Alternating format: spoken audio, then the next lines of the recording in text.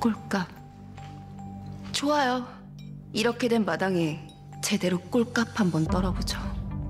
기자들 불러서 두 번째 기자회견 하시겠어요? 방송 나오는 거 좋아하시니까. 분명 다른 꿍꿍이가 있어. 대체 이유가 뭘까? 장그 김잼마라고 했던가? 아까 당신 방에 왔던 여직원.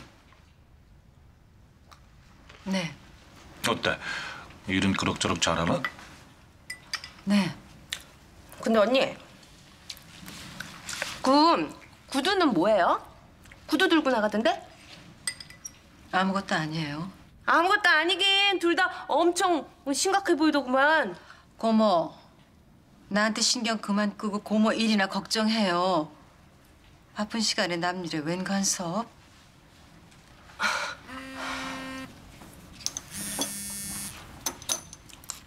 어, 안녕하세요. 아, 제가 깜빡 잊었어요. 네, 지금 가요. 어, 제가 선약을 깜빡했어요. 여보 미안해요. 나 먼저 일어날게요.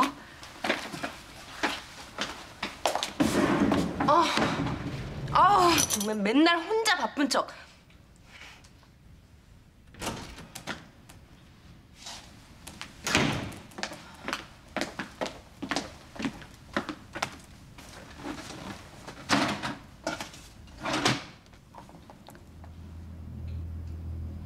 샅샅이 뒤져서 알아내요.